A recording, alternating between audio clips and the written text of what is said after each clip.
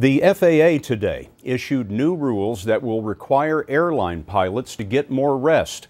The rules have been fended off for years by the airline industry, but they grew more urgent after a tragic accident in 2009. We asked transportation correspondent Mark Strassmann to tell us about that crash and what the new rules will mean.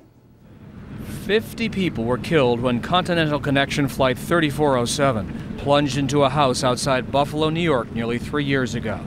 Crash investigators later found the two pilots had come to work exhausted. Neither had slept in a bed the night before, napping instead in an airport crew lounge. And the co pilot had commuted cross country from Seattle to Newark. Both were heard yawning on the cockpit voice recorder.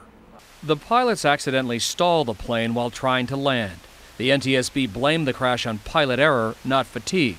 But the accident renewed a call to require more rest for pilots, especially at smaller regional airlines and prompted today's reforms. The new regulations mandate more rest and less flight time for commercial airline pilots. The minimum number of hours a pilot will have to rest will grow from 8 to 10, and the maximum number of hours a pilot can be on duty will shrink from 16 to 14. Transportation Secretary Ray LaHood called the changes long overdue. This is a big deal today. It's a big deal because for 25 years, people have been talking about this and haven't done a dang thing about it.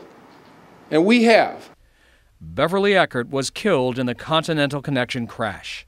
Her and, sister, and Susan Bourque, helped push for these new regulations, have, which she wishes had been in place the before outcome. the flight's pilots uh, ever took off. But I would like to think that they would have been more rested and possibly have been able to make better decisions. But we'll never know. We'll never know. Passenger airlines will have two years to implement these new regulations. And Scott, some safety experts are disappointed that cargo carriers will be exempt. For them, the FAA says these new rules are simply too expensive. Mark, thank you very much.